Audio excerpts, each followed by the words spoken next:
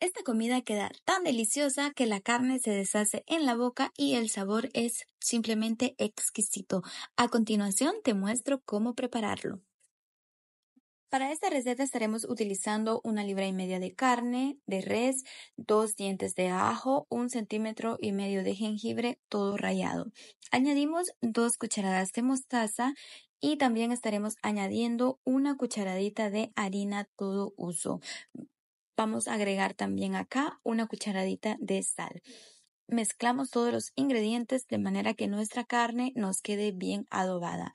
Cuando ya la tengamos listas, tiene que quedarte de esta manera. Vamos a llevarla a refrigerar durante 20 minutos o también puede ser una hora. Una vez nuestra carne ya esté adobadita, vamos a irnos en una sartén caliente a añadir un chorrito de aceite, el aceite de tu preferencia. Aquí vamos a incorporar la carne y vamos a revolver muy bien, de manera que consigamos un sellado exquisito. Una vez teniendo nuestra carne de esta manera, es importante que cuidemos que lo que hay en la sartén abajo no se nos vaya a quemar, ya que eso es como el boom para preparar la salsa de esta carne. Y una vez más te doy la bienvenida a este canal y agradezco que estés viendo estos videos.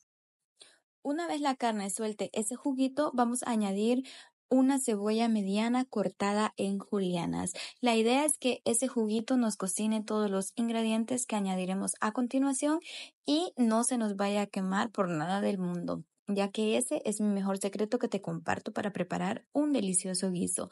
Ahora es momento de incorporar más vegetales. En este caso vamos a incorporar pimientos de colores, un poco de tomate cherry y apio finamente cortado. Vamos a revolver todo muy bien una vez incorporados los vegetales, mira esta belleza, absolutamente hermoso, pero lo vamos a hacer más delicioso añadiendo zanahoria. Estoy añadiendo zanahoria amarilla cortada en rebanadas, una pequeña estará bien. Puedes añadir la cantidad que tú quieras. Movemos todo y para darle un sabor exquisito a esta comida, el protagonista será el vino. Añades vino de cocina, puede ser tinto o rosado, aproximadamente media taza.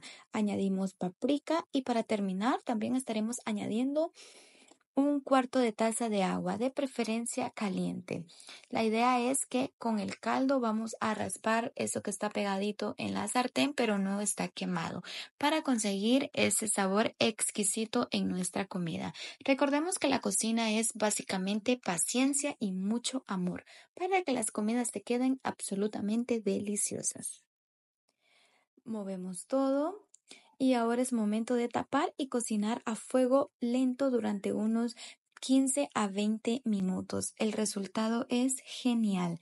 Ya la salsa se ha espesado. Terminamos con un toque de orégano. Rectificamos la sal y listo, así de fácil nos hemos preparado un fantástico guiso de carne, absolutamente delicioso y práctico para preparar y consentir a tus seres queridos. Y bueno, mi gente linda, si eres nuevo viendo estos videos y quieres aprender a cocinar de una forma fácil, sin complicaciones, te invito a que puedas suscribirte a este canal. Compartimos recetas todas las semanas para que prepares y consientas a tus seres queridos en casita. Gracias por ver estos videos y hasta aquí el video de hoy.